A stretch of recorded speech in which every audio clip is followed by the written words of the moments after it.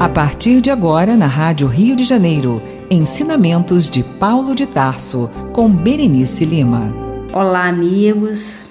Iniciando mais um programa de estudo, de reflexão é, sobre esses ensinamentos de Paulo de Tarso, né? O que que essa trajetória de Saulo para Paulo pode nos ensinar? Não só esse personagem, mas todos os personagens que estão assim envolvidos com Paulo. Né? Nós estamos estudando o livro Paulo Estevão, estamos na segunda parte, no segundo capítulo que se chama o Tecelão, que é essa decisão do Saulo é decidir ir para o deserto. É, ele, ele vai ser agora um tecelão, primeiro para ele sobreviver, para ele se manter com o trabalho dele, porque até então ele vivia às custas da religião. E ele está nesse momento de assim de reflexão, né? Ele mudara assim o próprio aspecto dele, ele está uma pessoa diferente, até fisicamente ele está diferente, até por conta do sol, que ele tem ficado muito tempo no sol, é, as disciplinas, né? Então, nós estamos na página 228 e o Emmanuel diz que o Saulo entendera finalmente aquela paz desconhecida que Jesus desejara aos discípulos.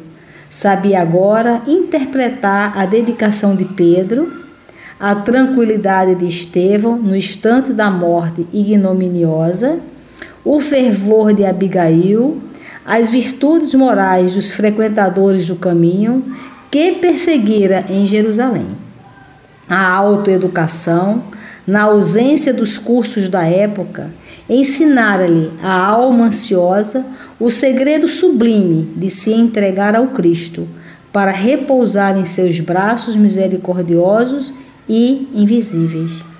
Desde que se consagrara ao Mestre de alma e coração, os remorsos, as dores, as dificuldades, como que se afastaram do seu espírito.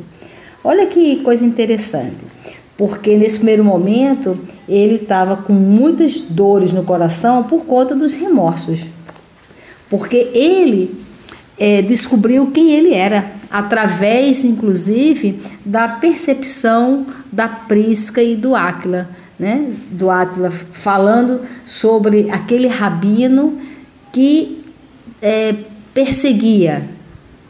Então agora ele está percebendo que o remorso foi importante, mas agora ele vai colocar isto em ação. Ele não vai ficar paralisado na culpa. Então, ele neste momento ele está sabendo sobre ele e ele está decidindo se transformar.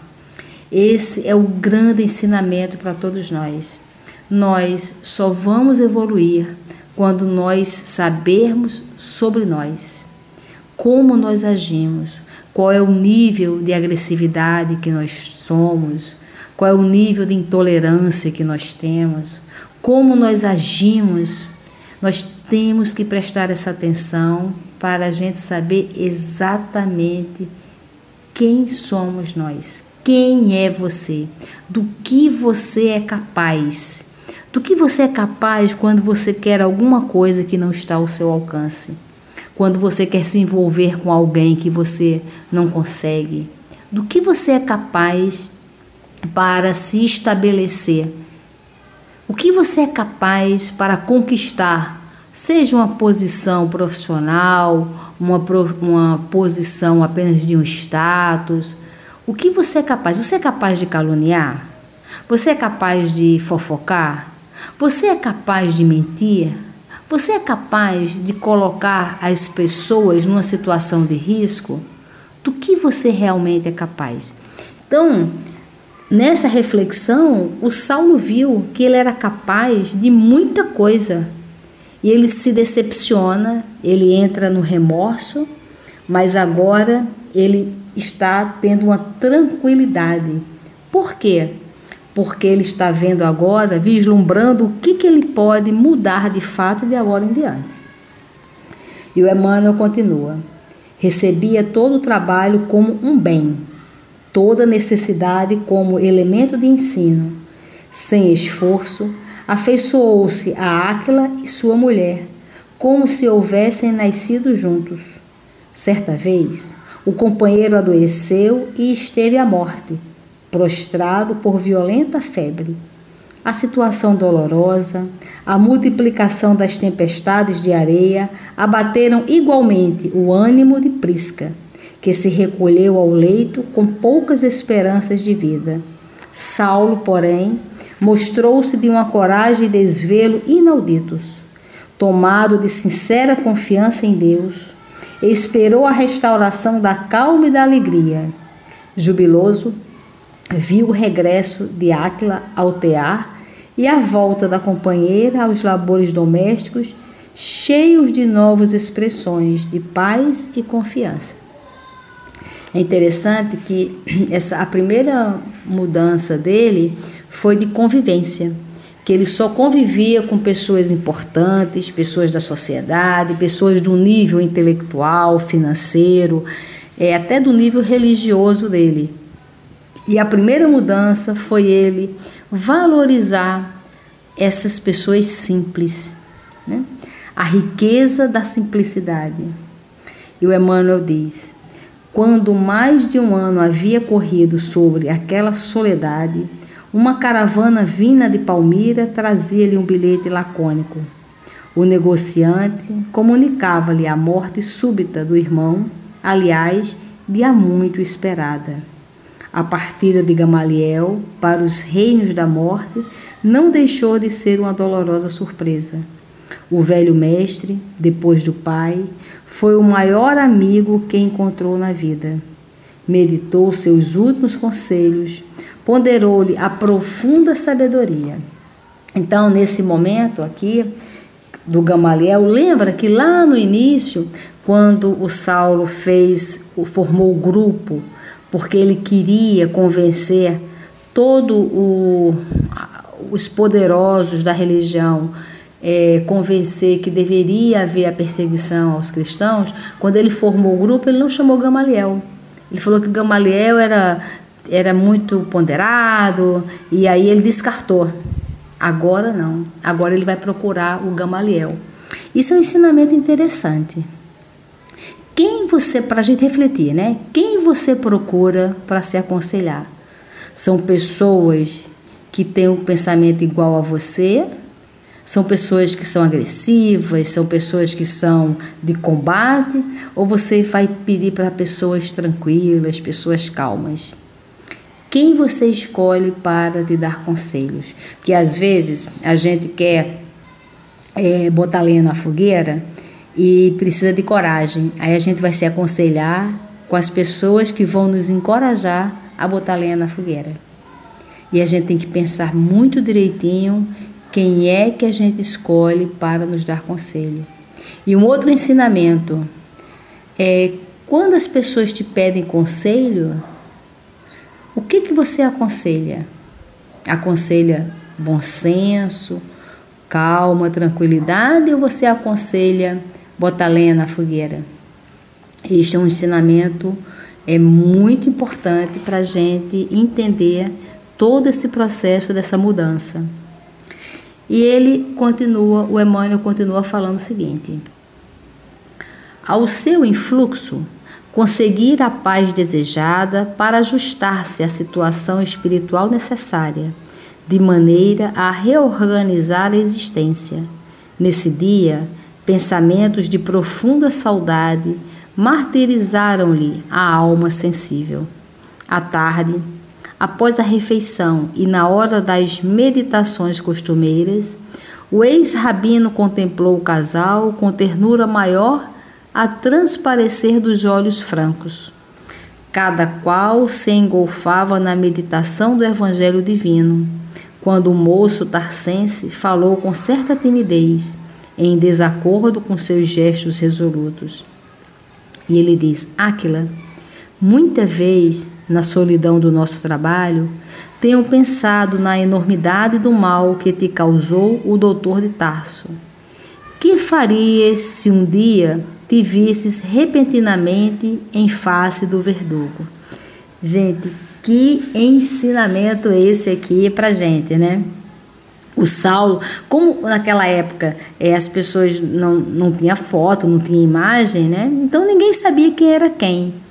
E como ele já estava é, barbado, já estava calejado do sol, ele já não tinha mais aqueles traços finos, né, de bem cuidados, quando ele tinha, quando ele era o doutor da lei.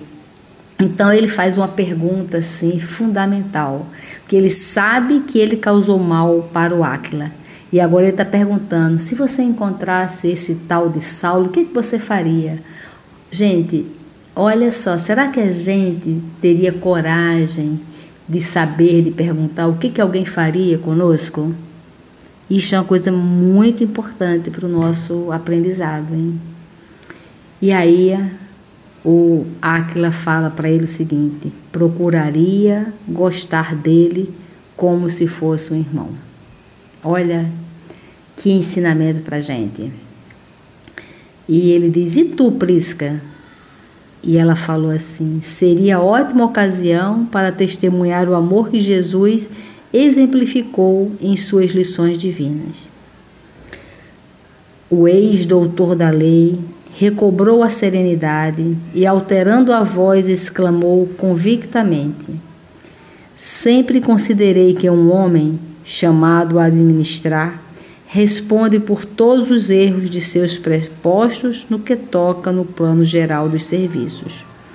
Portanto, no meu modo de pensar, não culparei tanto a Joshai que se arvorou em criminoso vulgar, abusando de uma prerrogativa que lhe foi conferida para execução de tantas vinganças torpes.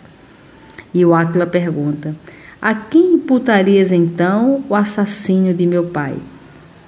Porque que assunto ele está falando? Que esse Joshai, na verdade, assassinou o pai de Áquila, né? Porque ele inclusive queria os bens dele, então ele assassinou. E, e o Joshai era funcionário do Saulo. Então, Saulo está dizendo que é, o responsável é, pelo o, o mandante do crime, né? quem é mais responsável? Quem comete o crime ou o mandante do crime? Na verdade, é essa a situação. E aí o, o pergunta, mas olha, então quem é que, que é o responsável pelo assassino do meu pai? E o Saulo fala, Julgo que Saulo de Tarso deveria responder pelo processo. É verdade que ele não autorizou o feito cruel, mas tornou-se culpado pela indiferença pessoal quanto aos detalhes da tarefa que competia ao seu tirocínio. Então, neste momento, Saulo confessa quem ele é. Né? E aí o, o, o Aquila e Prisca entraram a meditar naquelas perguntas e neste momento o Saulo fala: Meus amigos, sob a inspiração do Senhor, é justo confessarmos uns aos outros. Minhas mãos calejadas no trabalho, meu esforço por bem aprender as virtudes da fé que ambos têm exemplificado a meus olhos, devem ser um atestado da minha renovação espiritual. Sou Saulo de Tarso, o sanhoso perseguidor, transformado em servo penitente. Se muito errei, hoje muito necessito. Na sua misericórdia, Jesus rasgou a túnica miserável das minhas ilusões. Os sofrimentos regeneradores chegaram-me ao coração, lavando-o com lágrimas dolorosas. Perdi tudo que significava honrarias e valores do mundo, por tomar a cruz salvadora e seguir o Mestre na trilha da redenção espiritual.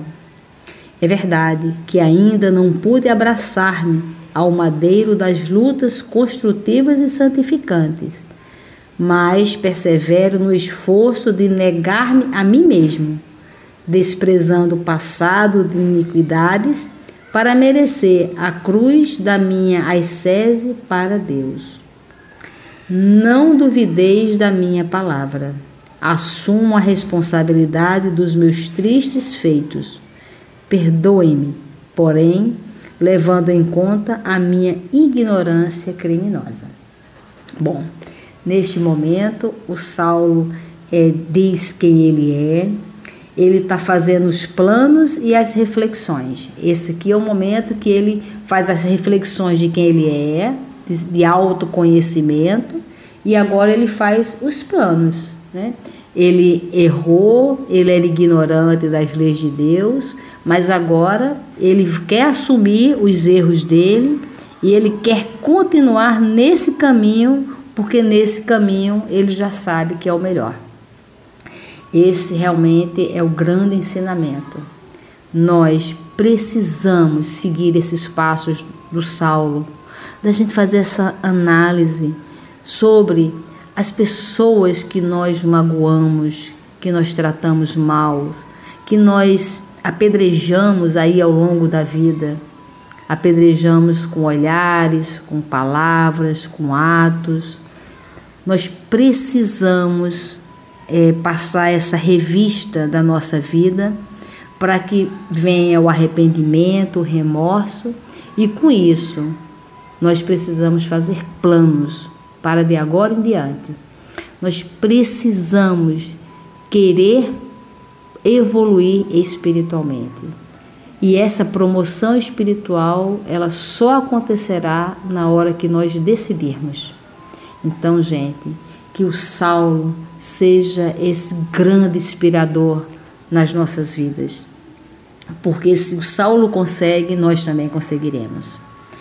E nesse momento, Emmanuel diz que o Acla e Prisca né, compreenderam que as lágrimas lhe sufocavam a voz. Como que, tolhido por singular emoção, Saulo começou a chorar convulsivamente. Áquila aproximou-se e abraçou. Aquela atitude carinhosa parecia agravar a contrição penosa, porque o pranto jorrou mais abundante. Recordou o momento em que encontrara a afetividade sincera de Ananias e, sentindo-se ali, nos braços de um irmão, deixou que as lágrimas lhe lavassem plenamente o coração Sentia necessidade de expandir sentimentos afetuosos. A velha vida de Jerusalém era convencionalismo e secura. Como doutor destacado, tivera muitos admiradores, mas nenhum chegara a sentir afinidades fraternas. Naquele recanto do deserto, porém, o quadro era outro. Tinha à frente um homem digno e honesto companheiro dedicado e trabalhador, antiga vítima das suas perseguições inflexíveis e cruéis. Quantos, como Acla e sua mulher, não estariam dispersos no mundo, comendo o pão amargo do exílio por sua causa? Então, essas reflexões o Saulo vai fazendo a cada instante. Os grandes sentimentos nunca povoavam a alma de uma só vez, em sua beleza integral. A criatura envenenada no mal é qual recipiente de vinagre, que necessita ser esvaziado pouco a pouco. A visão de Jesus constituía um acontecimento vivo e morredouro, mas para que pudesse compreender toda a extensão dos seus novos deveres, impunha-se-lhe o caminho estreito das provas ríspidas e amargosas. Vir o Cristo, mas para ir ter com ele era indispensável voltar atrás e transpor abismos. As desilusões da sinagoga de Damasco o reconforto junto dos irmãos humildes sob a direção de Ananias, a falta de recursos financeiros, os conselhos austeros de Gamaliel, o anonimato, a solidão, o abandono dos entes mais caros, o tear pesado sob o sol ardente, a penúria de todo e qualquer conforto material, a meditação diária nas ilusões da vida, tudo isso representar auxílio precioso para a sua decisão vitoriosa. Então, aqui esse ensinamento é o passo a passo, né? Que ele vem falando. Primeiro ele fala das desilusões. É, primeiro ele fala o seguinte, que para ir para Jesus tem que voltar atrás e transpor esse abismo, ou seja, a gente tem que fazer uma reflexão da nossa vida. E aí ele fala as desilusões da sinagoga de Damasco, ou seja, é a aparência. Né? Ele era um doutor da lei, admirado, quando ele falava, falava bonito, mas era apenas é, superficial, era apenas matéria, é a vaidade da matéria, de estar exposto, de falar bem. Né? Então é, é algo muito superficial. E aí ele se lembra dos irmãos humildes, lá com Ananias. Aí depois veio a falta de dinheiro, veio os conselhos de Gamaliel, ele ficou no anonimato, na solidão. As pessoas abandonaram ele, ele foi lá fazer o tear sob o sol, sem condições é, assim de nenhum conforto material fez meditação diária, mas essa meditação aqui, ó, meditação diária nas ilusões da vida. Gente, quantas ilusões, quantas nós vivemos com tantas ilusões diárias e a gente sofre por tantas ilusões que a gente nem presta atenção, que o tempo passa e nós ficamos presos nas ilusões. E ele diz que tudo isso representa auxílio precioso para a sua decisão vitoriosa. A desilusão é algo muito importante, porque quando a gente se desilude com alguém, significa que até aquele momento estávamos iludidos. E a gente precisa lidar com a verdade, porque a verdade nos libertará.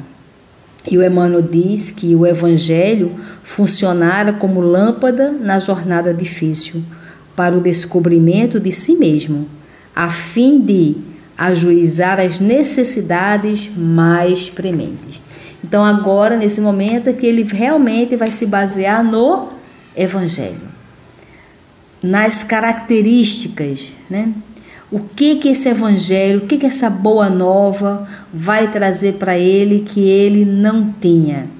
Isso vai movimentar o que na vida dele? Né?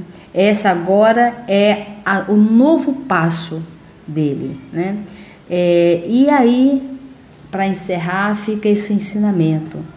Nós fazermos essa reflexão do que, que nós já fizemos nessa vida, de todo o mal que nós geramos de todo o bem que nós deveríamos ter feito e não fizemos, mas que tudo isso sirva para que a gente se desiluda com, com, a, no, com a nossa caminhada de apenas conquistar coisas, posições, mas que a gente realmente queira andar com Jesus, que a gente queira progredir espiritualmente o que aconteceu com Saulo, a transformação de Saulo para Paulo, aconteceu por um único fator.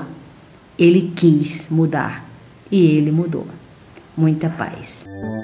Você ouviu na Rádio Rio de Janeiro Ensinamentos de Paulo de Tarso, com Berenice Lima. Com Berenice Lima.